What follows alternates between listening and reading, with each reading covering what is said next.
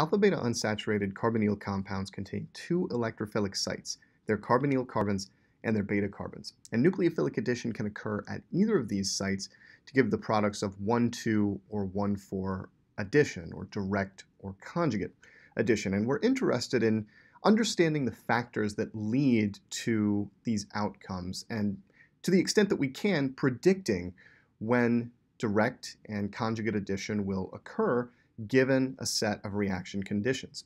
There are three factors that go into this determination. The first is the structure of the nucleophile. We ask ourselves the question, how hard or soft is the nucleophile? We'll understand what hard and soft mean here in a second. The second question is, what is the reaction temperature? And again, we'll understand the underlying reason why temperature affects this outcome here in a second. And the third question is related to the electrophile, the unsaturated carbonyl compound. How Lewis acidic is the carbonyl carbon? And what impact does that have on direct versus conjugate addition? So in the remainder of this video, we're going to look in detail at these three factors and understand how to make predictions and rationalize outcomes using these three factors. So first, let's discuss the nucleophile. Whether a particular nucleophile adds directly or in a conjugate fashion, 1, 2, or 1, 4, depends on what's called its hardness.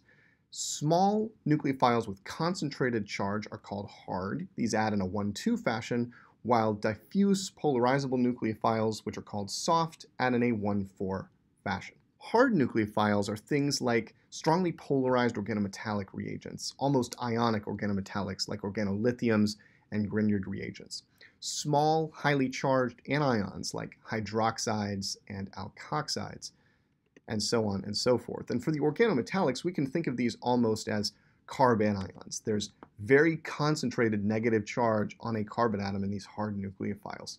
Hard nucleophiles, because of their high charge density, are driven by what we might call charge control. The nucleophile is attracted through electrostatic forces to the atom that bears the greatest partial positive charge.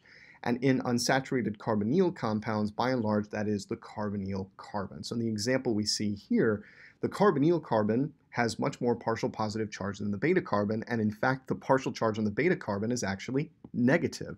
So hard nucleophiles will tend to be attracted to that partially positive carbonyl carbon and add in a direct fashion in an irreversible manner to give the 1,2 addition product.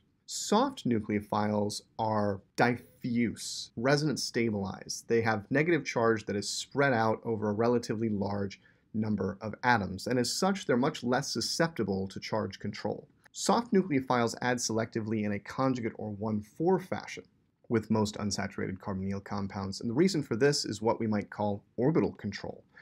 The selectivity of a soft nucleophile is driven by its overlap with the lowest unoccupied molecular orbital, of the unsaturated carbonyl compound. And in the majority of these, the largest lobe of the LUMO is located on the beta carbon. For example, that's the situation in the structure shown here. That large LUMO density at the beta carbon drives the nucleophile to that position through orbital control. And so soft nucleophiles tend to add to the beta carbon in preference to the carbonyl carbon, leading to conjugate addition products. There are some nucleophiles that are on the borderline between hard and soft, and the outcome for these depends on the remaining two factors, temperature and the nature of the electrophile. To understand the temperature effect, let's zero in on one of these borderline nucleophiles, cyanide, and try to understand what happens when cyanide is mixed with an alpha-beta unsaturated ketone. At low temperatures, the first thing we observe is 1,2, or direct addition of cyanide to the carbonyl carbon, which produces a cyanohydrin. And if the temperature is kept low and the reaction time is kept relatively short, this will be the observed outcome. The major product will be the one derived from 1,2 addition. However, if the temperature is raised or the reaction is allowed to run for a long period of time, the 1,2 addition product is gradually replaced with the 1,4 addition product and it becomes the major product at high temperatures and long reaction times. The reason for this is that the 1,2 addition product can revert back to starting material. Cyanide adds reversibly. We've actually seen this previously. And so the cyanohydrin can reform starting material, and at high temperatures, 1,4 addition will begin to predominate. The reason conjugate addition predominates at high temperatures is because the conjugate addition product is more stable than the direct addition product because in the conjugate addition product, we retain the stronger carbon-oxygen double bond. And this is going to be a general result for any nucleophile that adds reversibly. And we've seen these previously in discussions of nucleophilic addition to the carbonyl group. These are things like amines, alcohols, and cyanide that add to the carbonyl group but can also be eliminated. At high temperatures, that elimination will tend to drive the product mixture towards the conjugate addition product, which is almost universally more stable because of the special strength of the carbon-oxygen double bond. The Lewis acidity of the carbonyl compound can also play a role, particularly in these borderline cases. And the key question here is, how electrophilic is the carbonyl carbon relative to the beta carbon? That depends on what other group is connected to the carbonyl carbon outside of the alkene or alkyne.